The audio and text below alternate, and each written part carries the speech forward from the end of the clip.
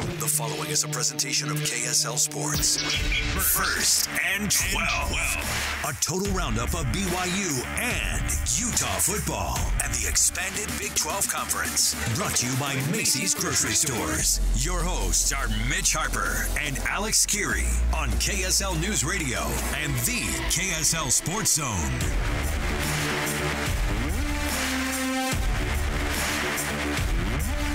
Welcome back. Happy Sunday to you. Yes, first and 12 right here on KSL News Radio and on the KSL Sports Zone every Sunday. Mitch Harper and myself bringing you a Big 12 breakdown.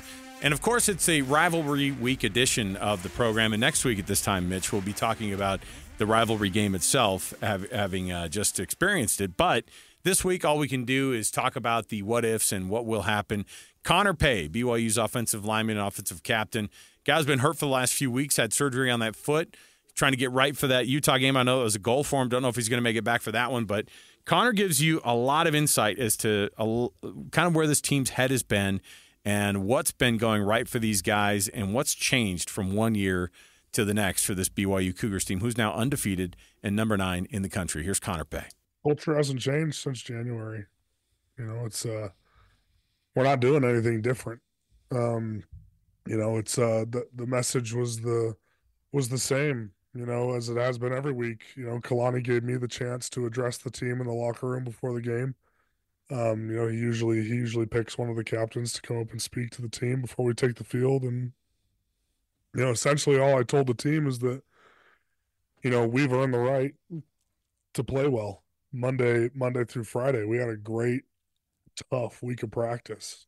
And, you know, when you when you practice that way, you you earn the right to go out there and be confident.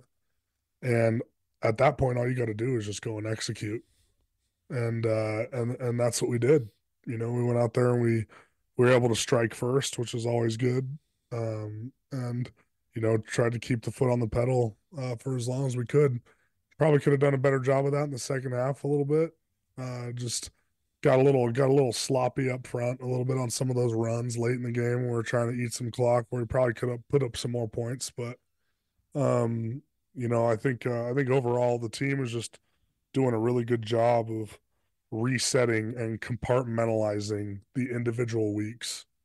Where it's like, especially now coming up with these next couple weeks, getting ready to play Utah, where it's uh, you know, the last eight weeks have absolutely no bearing, none, on this game, and the following weeks have no bearing on this game. All we can do is focus on what's right in front of us and that's what this team's been able to do. Uh, you look at the run game, and we, we had a lot of conversations last year about the struggles there. It's completely different now, and now it's going to another level. You got LJ with back to back 100 yard games. Yeah. Uh, can you explain to us what is different with the run game? Why is it working well? And why is LJ getting going now? Well, I think for one, uh, the the obvious change is that we have a new run game coordinator, you know, and so the schemes are a little different, and uh, you know, he's he's added some good stuff to us, and you know, Coach Woods has been awesome, and you know, obviously having LJ back fully healthy um, is a big deal too, just because you know he's such a smooth and effective runner. Uh, but I think just the consistency uh, of the technique and uh, the assignments of the guys up front and tight ends, running backs included, um, and even the receivers too, and the quarterback. I mean, the run game's an eleven man deal. You know, you can you can look at any of those explosive runs and you'll see receivers blocking their butts off. You know, trying to trying to get those extra yards and you know, I think uh, obviously there was a massive commitment to the run game in the offseason and you know, people took that to heart, especially us up front.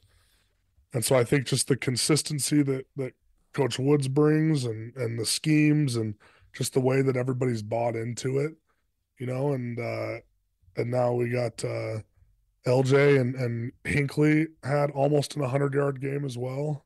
Um, and so I think we have guys that are starting to find find their way through this scheme and through this system. What are you noticing with uh, the defense during practice? I know you you know you focus a lot on the offense, obviously, because that's the side of the ball that you play on. But like, what's going on on that side that Jay Hill's got dialed up for those guys that that you notice and you go, oh, they're they're operating. Do you notice like, hey, they're operating a different level this year? There's there's something else going on. Yeah, for sure. Because you know, all of spring ball and all of fall camp, that's all I get to see. Yeah. Um, you know, is their stupid faces, and uh, It's an ugly you know, bunch. it's uh, you know, it's been it's been great. I think one more year in Coach Hill's system definitely makes a difference on that front because now it's you know you got you got the guys who are who are leading the charge on defense like Jack Kelly and people like that who are who are analyzing the formation and and making calls based on that you know and stuff. And you know obviously Jack is experienced in this system having been at Weber. And so now now the rest of the guys too have a full year under their belt where it's like now they're picking up on formational and motion cues faster. But I think even beyond that you know I think the especially in the front seven because I felt like the secondary actually played pretty well um you know all things considered. Last year with how banged up they were and some other things I think the secondary played pretty awesome last season. It was one of the one of the few bright spots of last year's team. Um and now I think that the front seven is kind of catching up to that and you know being being the dominant force that coach Hill wants them to be you know because that was you may look at the stats and be like oh man you know UCF rushed for 150 or 160 or whatever that was but that's one of the better rushing teams in America Yeah, they were number two going into that game. and uh I don't know what do you know what they were averaging yards per game on the Uh, ground it had it was, it was two like hundred something, 270. wasn't It was it was yeah it was it, you guys I think thi- you kept it them was 90 under their average. And they had that last. They had Yeah. they were at 150 with like two and a half minutes left. I mean, the reality was is they had already kind of shut down. I think uh, RJ Harvey, and then, but yeah, we, that was the very first thing we noticed was hey, a team that averages 275 yards on the, uh, a game on the ground, 180 was I think what they ended up with. But that was that's a phenomenal day considering that they can't throw the ball either. Yeah, no, it's like you're holding them almost 100 yards under their Yeah. average. You know, and so that was the defense's goal going in. When you play against great rushing teams, you're not going to hold them to zero. You know, it's just not a deal. The, the thing that you need to do is limit the chunk runs. You got to limit explosive plays against off uh, rushing attacks like that. The one, two, three yard gains, even four yard gains, sometimes are wins for the defense. You know, and so I think they did a great job, with the exception of a couple plays where they let some big runs out. For the most part, It's going to happen with a You know, guy who's the it. number five rusher in the country, right? Yeah. I mean, he's pretty yeah, darn good. exactly. And so, I think just how the the only time the defense has struggled this year is when they played outside of themselves and outside of the system. You know, and that's that's what we saw a little bit against Oklahoma State. I think we talked a little bit about that last week, but um I think they're doing just such a good job of playing to their strengths within the within the system that Coach Hill is teaching. Where it's like you can't you you can't play outside of what the defense is doing and expect to perform well. Because defense is so much about gap and assignment sound. You know, offenses score uh, points and get chunk yards when guys are either caught out of gaps or caught out of an assignment.